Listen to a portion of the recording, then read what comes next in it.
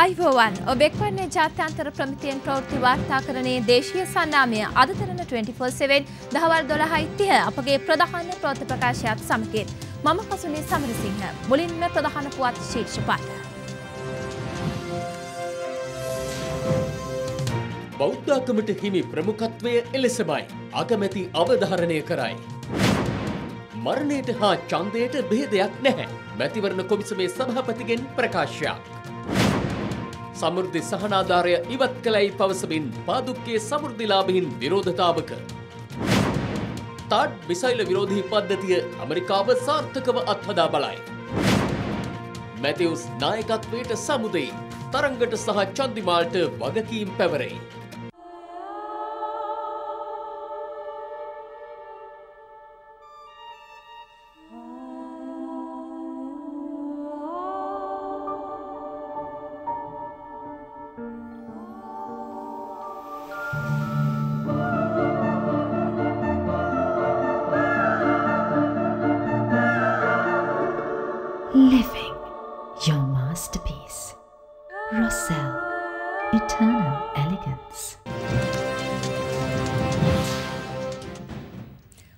අපි ප්‍රමුඛ අවධානයක් යොමු කරන්නේ ක්‍රීඩා පුවතක් වෙතට.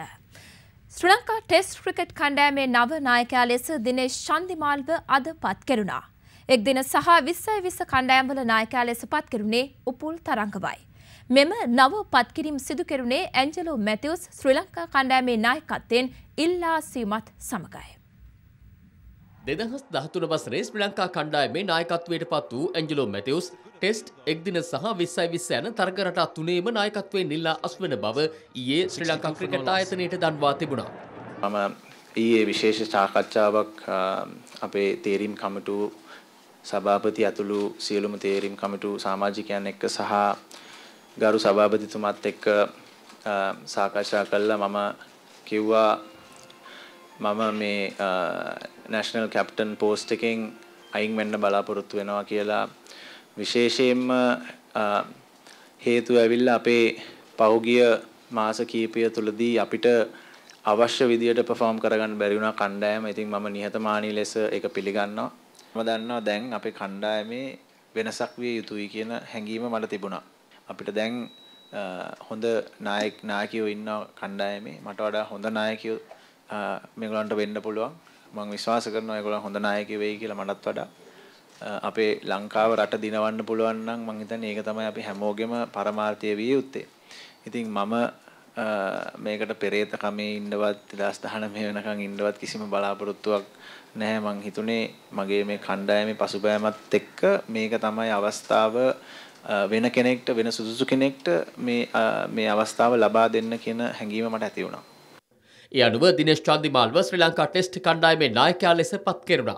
මං මුලින්ම අ, නිහතමානීව සතුටු වෙනවා මට මේ අ, ටෙස් කණ්ඩායමේ නායකත්වය හම්බවීම එක ගැන අ, මම මගේ කාලය ශ්‍රමය ඒ සියලු දෙයක්ම මේ කණ්ඩායමට දීලා අ, මට ඕනේ මගේ කණ්ඩායම ලංකාව අ, ඉදිරියට ගෙනියන්න ඉතින් ඒ සඳහා කරන්න පුළුවන් උපරිම අ, නායකයෙක් විදියට මම ඉටු කරන්න ලෑස්ති වෙලා ඉන්නවා.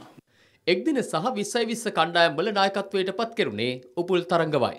ක්‍රිකට් ආයතනයට එහි සභාපතිතුමාටත් ඒ වගේම තේරුම් කමිටුවේ සභාපති සනත් ජයසූර මහතාටත් මේ අවස්ථාවේදී මම සූදානම් වෙන එක මා විශ්වාස කරලා විශේෂයෙන්ම එක්දින ස- තරඟ සහ T20 තරඟවල නායකත්වය ලබා දුන්නට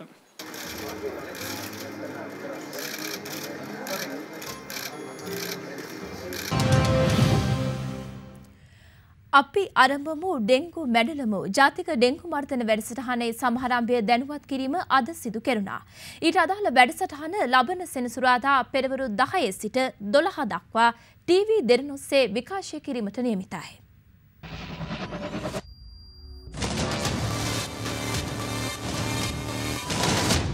ඩෙංගු මර්ධනය පිළිබඳව දැනුවත් කිරීමේ වැඩසටහනක් අද පෙරවරු 9 සිට 11 දක්වා ටීවී දෙරණ ඔස්සේ සහ අද දෙරණ 24 පැය ප්‍රවෘත්ති නාලිකාව ඔස්සේ විකාශනය කරනු ලැබුවේ අපිම අරඹමු ඩෙංගු මැඩලමු ජාතික ඩෙංගු මර්ධන වැඩසටහනට පූර්වගාමී වයි. මේ සඳහා සෞඛ්‍ය ක්ෂේත්‍රයේ විද්වතුන් රැසක් සහභාගී වුණා.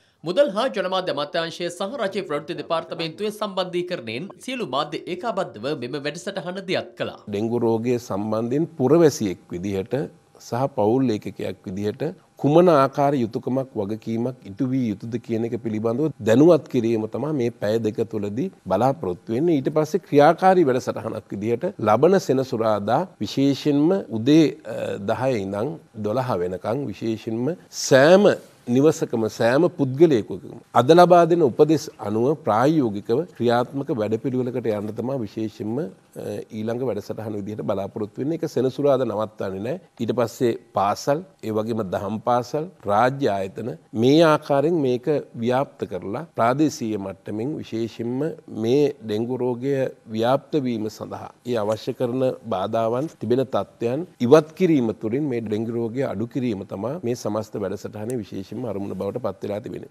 සෞභාග්‍ය වෙනුවෙන් එකම නැකතකට කිරි ඉතිරූ අපේ අපේ ජීවිත වෙනුවෙන් එකම නැකතකට වැඩරබමු. සෙනසුරාදා උදේ දායත් දොළහත් අතර අපේ ගෙවත්ත අපිම පිරිසිදු කරමු. අපිම අරඹමු දෙංගු තුරලමු. ජාතික ක්‍රියාන්විතියට එක්වෙමු.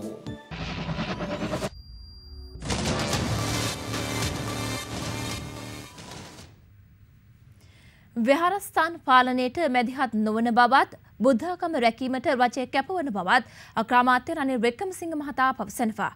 වර්තමාන සමාජ හා ආගමික ගැටලු පිළිබඳව අරලියක හා මන්දිරයේ පැවති සාකච්ඡාවකට එක්වෙමින් අග්‍රාමාත්‍යවරයා මේ බව සඳහන් කළා.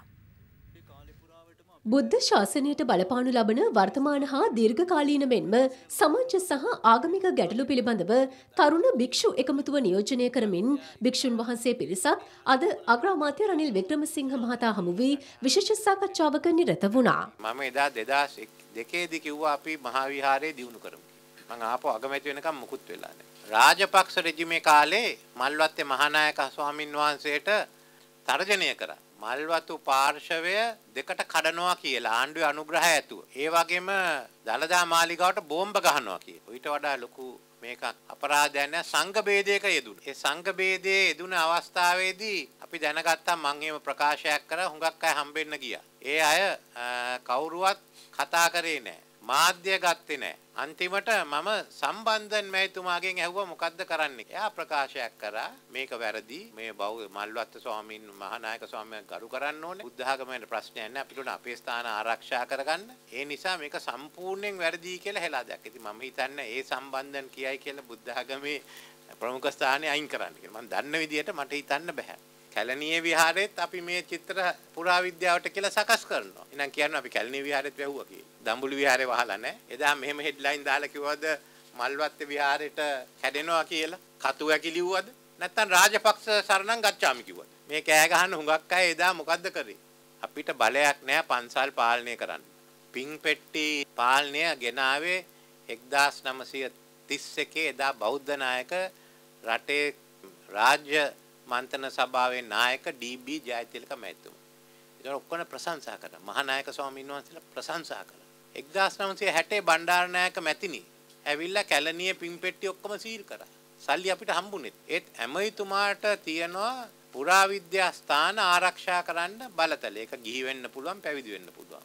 දෙවනුව UNESCO ස්ථාන ලෝකුරුම ස්ථාන ආරක්ෂණ ඊටත් වඩා වඩා බලතල තියෙනවා. ඒ එකක්වත් මේකට හැප්පිලා මේවා වහලා කරන්න යන්නේ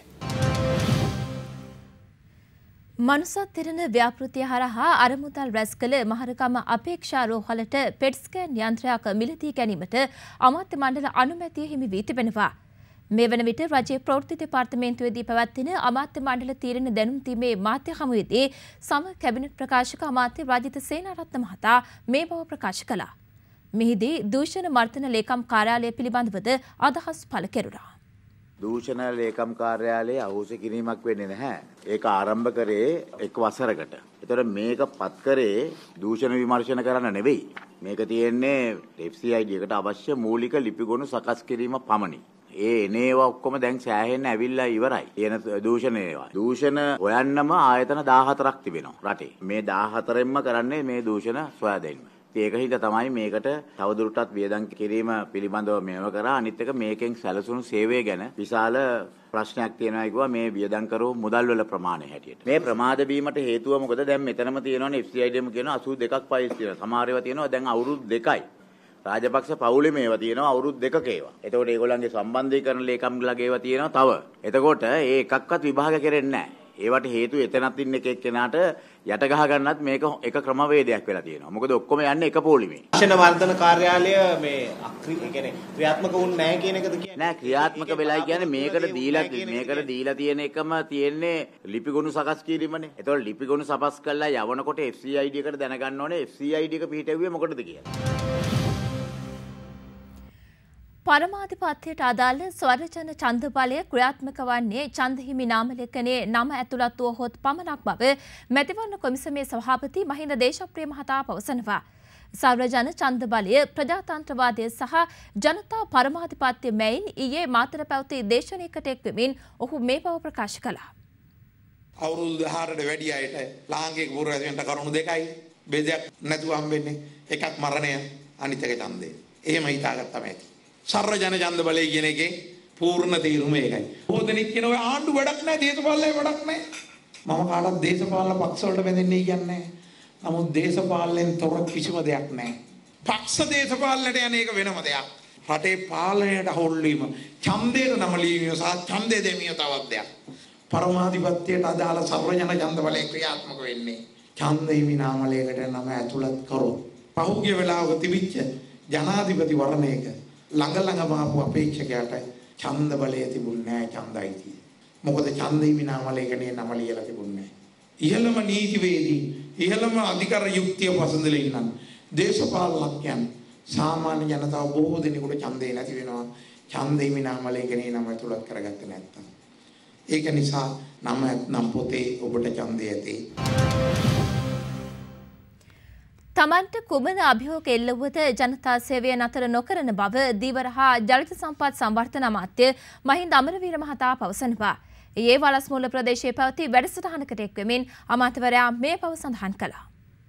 ග්‍රාමීය මාර්ග ප්‍රතිසංස්කරණ ව්‍යාපෘති යටතේ වලස්මුල්ල වීදිකන්ද ප්‍රදේශයේ මාර්ග දෙකක වැඩ ආරම්භ කිරීම ඊයේ පස්වරුවේ සිදු කෙරුණේ අමාත්‍ය මහින්ද අමරවීර මහතාගේ ප්‍රධානත්වයෙන්. දකුණෙන් දේශපාල නායකයෙක් ගොඩනගනවා කියලා මම වැඩබාර ගන්න වෙලාවේ එදා ඉඳලා මට ඉවරයක් නැහැ. චරිත ඝාතන, මඩ ගැහිම්, අවලාද, අපහාස, කුමන්ත්‍රණ සියල්ලම දියත් වෙනවා. තාම මේකේ කොටසයි ක්‍රියාත්මක වුණේ. මේවා මට ප්‍රශ්න නෙවෙයි. මම දන්නවා මේවා අවසානයේ බොහොම නරක දේවල් වෙන්න පුළුවන්. සමහර වෙලාවට වෙඩි උණ්ඩයක් වෙන්න පුළුවන්. හැබැයි ඒ මොන தත්ත්වය තුල වුණත් අපි අපේ ගමන ආපස්සට ගන්නේ මේ ජනතාවට වැඩ කරන වැඩපිළිවෙල මේ සංවර්ධන වැඩපිළිවෙල වගේම අපේ දේශපාලන ගමන් ඒවට බය අපි නවත්තින්නේ නැහැ. අපි ඕන දෙයකට මූණ දෙන්න සූදානමින් ඒ ජනතාව වෙනුවෙන් අවංකව සේවය කරන්න අපි කැප වෙනවා. කවුරුවත් මට අත්තරංගුවට ගන්න බලයක් තියෙන මිනිහෙකුත් නෙමෙයි. මට එහෙම ඕන කෙනෙකුත් නෙමෙයි. මම ඔය හුඟක් කට්ටිය ආරක්ෂා කරපු කෙනෙක්. ඒ අයගේ හෘද සාක්ෂිය දන්නවා ඇති. මහින්ද අමරවීර ඔය කී දෙනෙක් බේරගන්න කතා කරාද බේරගන්න කටයුතු කරාද මටත් හිතා ගන්න බෑ සමහර කතා. ඔබේ සම ඇතුළතින්ම පිරිසිදු කරන ස්වාභාවික සංයෝගය සේරි ෆේස්වශ්. ලෝකෙ කොයි හිටියත් සුපිරිසිදුව ලස්සන්ට ඉන්න මගේ සමට ගැලපෙන්නේ සේරි ෆේස්වාශ්.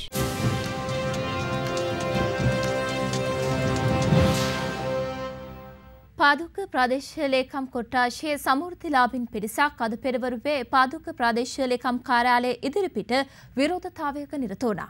ඒ සිය සමෘද්ධි සහනාධාරය ඉවත් කර ඇති බව පවසමින්. අද පෙරවරු නමයට පමණ පාදුක්ක ප්‍රාදේශීය ලේකම් කාර්යාලයේ ඉදිරිපිටට පැමිණි පිරිස ප්‍රාදේශීය ලේකම් කාර්යාල පිවිසුම් මාර්ගය අවහිර කරමින් විරෝධතාවයේ නිරත වුණා. ඒ පාදුක්ක ප්‍රාදේශීය ලේකම් කොට්ටාසයේ සමෘද්ධිලාභීන් 600කට ආසන්න සංඛ්‍යාවකගේ සමෘද්ධි සහනාධාරය ඉවත් කර ඇති බව පවසමින්. අපිට ඒවා හොයලා බලලා අපිට ඒවා කරා නම් අපිට අවුලක් නැහැ. මේ හේතුවෙන් ප්‍රාදේශීය ලේකම් කාර්යාල නිලධාරීන්ට සහ සේවා ලබා ගැනීමට පැමිණි ජනතාවට ප්‍රාදේශීය ලේකම් කාර්යාල පරිශ්‍රයට ඇතුළු වීමටත් ඉන් පිටතට පැමිණීමටත් නොහැකි වූ බවයි අධිකරණ වාර්තාකරු සඳහන් කළේ. එමෙන්ම අවට පොලිස් ආරක්ෂාවක්ද යොදවා තිබෙනු දැකිය හැකි වුණා. දහ දෙනෙක් යනවා අපි දහ දෙනා ගිහිල්ලා එනකන් මේ ගේට්ටුව වහගෙන මෙහෙම වාඩි වෙලා ඉන්නවා. පැය දෙකක පමණ කාලයක් විරෝධතාවය නියලුණු පිරිස පාදුක සහකාර ප්‍රාදේශීය ලේකම්වරයා වෙත සංදේශයක් බහර දීමෙන් අනතුරුව විසිර ගියා. මේක අසාධාරණ විදිහට කපලා තියෙන්නේ. කිසිම තේරීමක් නැහැ සමීක්ෂණයක් නැහැ. එළවලු කනවද මාළු කනවද මාළුව කීයක් එක කනවද? සීට් මේ දාලද වහලට? ලයිට් තියෙනවද? කොහොම මේක පිරෙව්ව පිරෙව්ව ඉතින් අපෙන් අහා මොනවා පිරෙව්වද නම් දන්නේ. මේ ඒවෙන් තමයි කැපුවේ ආණ්ඩුවට ලොකු විරෝධයක් ගොනු වෙලා තියෙන වෙලාවේ සමෘද්ධියත් කප්පාදු කළා. ආණ්ඩු විරෝධය වැඩි කරගන්න එපා. මේ සියලු දෙනාට ආපහු සමෘද්ධිය ලබා දෙන්න කටයුතු කරන්න කියලා අපි අතිගරු ජනාධිපතිතුමාගෙන් ඉල්ලා සිටිනවා දිවයිනේ ප්‍රදේශ කිහිපයක පවතින දැඩි නියං කාලගුණික තත්ත්වයේ හේතුවෙන් පුද්ගලයන් ලක්ෂයකට අධික පිරිසක් පීඩාවට පත්ව සිටින බව වාර්තා වනවා. අද දෙරන වාර්තාකරු පැවසුවේ පුත්තලම දිස්ත්‍රික්කයේ ප්‍රාදේශීය ලේකම් කොට්ටාශ දහසෙන් දහත් තුනක්ම නියකයට කොතුරු වී ඇති බවයි. පුත්තලම දිස්ත්‍රික්කයේ පවුල් විසිනම දහසකට අයත් පුද්ගලින් ලක්ෂයකට අධික පිරිසක් නියගේ හේතුවෙන් පීඩාවට පත්ව සිටින බවයි වාර්තා වන්නේ.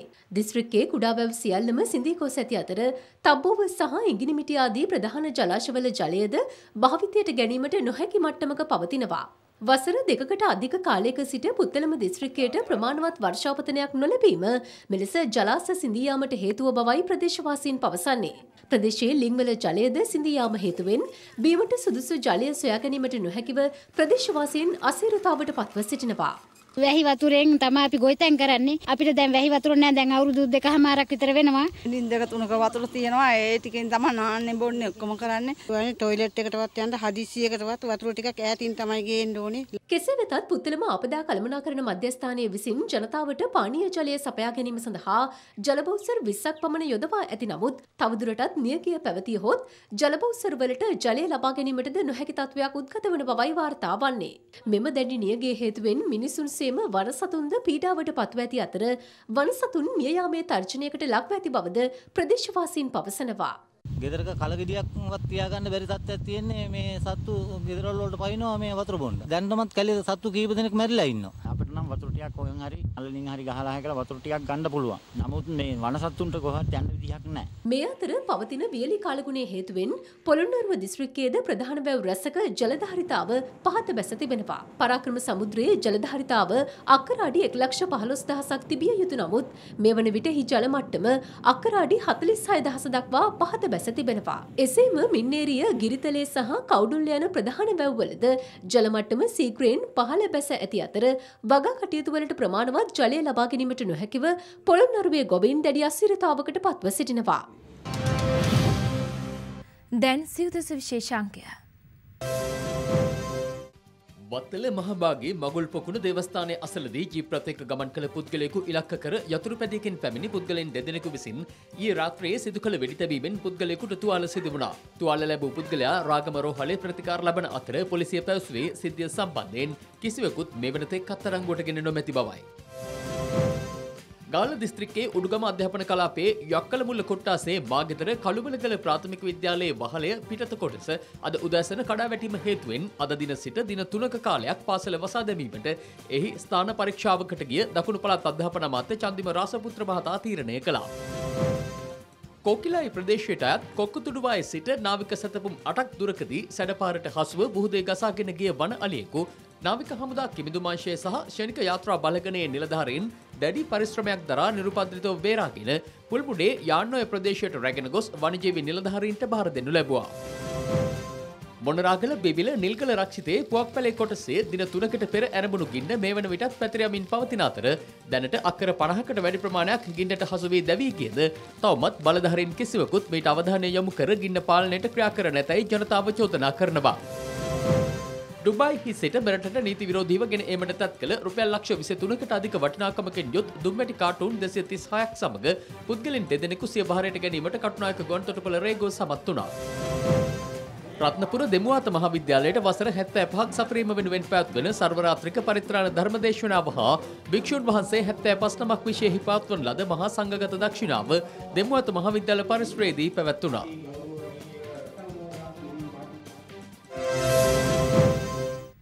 විදෙස් පුවත්. තාඩ් මිසයිල විරෝධී පද්ධතිය ඒ සාර්ථකව අත්හදා බැලීමට ඇමරිකාව සමත් වනා. ඔවුන් පැවසුවේ තාඩ් මිසයිල පද්ධතිය මගින් බැලස්ටික් මිසයිලයකට පහරදී එය බිමහෙලූ බවයි. උතුරු කොරියාව දිගින් දිගටම සිදු කරන බැලස්ටික් මිසයිල අත්හදා බැලීම් වලට එරෙහිව අමරිකා විසින් මෙම තාඩ් මිසයිල විරෝධී පද්ධතිය අත්හදා බලා තිබෙනවා. එරට වාර්තා සඳහන් කරන්නේ පැසිෆික් සාගර කලාපයේදී මෙම අත්හදා බැලීම සිදු කර ඇති බවයි.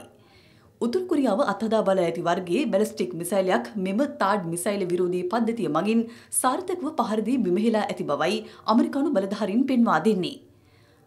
ඇලස්කාවේ ස්ථාපනය කර ඇති මෙම තාඩ් මිසයිල් විරෝධී පද්ධතිය අදාළ අත්හදා බැලීම සිදු කර ඇත්තේ මාස කිහිපයක සූදානමකින් පසුවයි.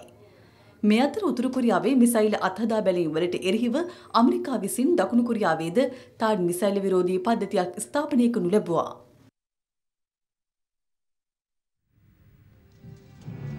දහවල් ප්‍රධාන ප්‍රවෘත්ති ප්‍රකාශය නිමාවට පත් කරනවා සුබ දවසක්.